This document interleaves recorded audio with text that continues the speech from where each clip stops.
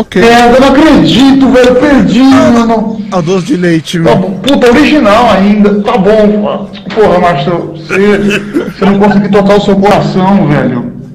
Faça bom uso. Cara, Mas eu gostaria que você guardasse. o Márcio roubou meu doce de leite, cara. Eu tô, eu tô indignado com isso até agora, cara. Ele assaltou a mão armada meu doce de leite. Cara, a Mara Tassini deu uns cinco, umas cinco caixas de bombom pra entregar aqui pra estagiário na rádio. Eu esqueci. Eu não sei lá onde eu deixei. Eu deixei no teatro.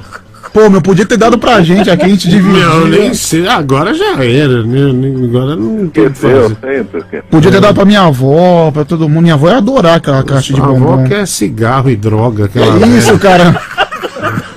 A avó, essa velha, velha drogada. Que isso, respeita a minha avó, Diguinho, pelo amor de Deus. Conheço a avó. Minha avó é uma, uma, uma senhora puritana, Diguinho, por favor. puritana.